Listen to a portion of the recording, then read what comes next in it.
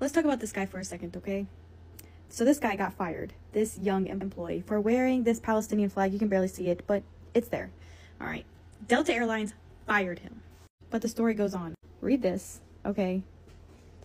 This. And read their response. I hear you. As I'd be terrified as well. Personally, our employees reflect our culture, and we do not take it lightly when our policy is not being followed. Terrified over a Palestinian little pin, okay? Again, he's not the only one. She was also wearing a Palestinian pin right there. But there are Palestinian people. Palestinian people, civilians of Palestine that literally has Palestine on their passport. And they're said I would be scared as well.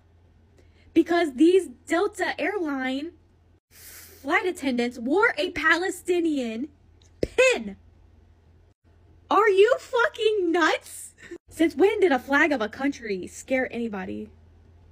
I'm embarrassed for Delta.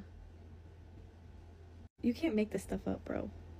Palestinian people who literally were born in Palestine. And people are scared. They're scared of a Palestinian flag. I literally rep the Palestinian flag every fucking day. Are people scared of me? No. Matter of fact, I get more hand high fives than anything. I've never once had anybody come up to me and say, Oh my god, I'm so scared.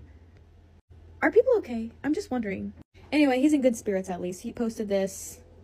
Much love to you, brother. Much freaking love by Instagram. Thank you to everyone for all the kind messages. It has been an overwhelming few days, but I but I'm grateful for all of the love and support. See you in the skies. Much love to him. However, on the other hand, I'm not sure if she got fired.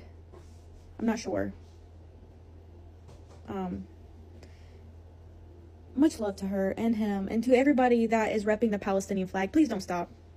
Please don't. Because we need you guys. They can't fire everybody. It's crazy to me how they were trying to eliminate a whole nation. But it's not gonna fucking work. Like, how do you eliminate all the Palestinians? The Palestinians are freaking everywhere. And now the Palestinians have gained so much support worldwide. We're all freaking Palestinians. What are you gonna do about it? What are you gonna do about it? Go F yourself. Real good. Because we ain't going nowhere.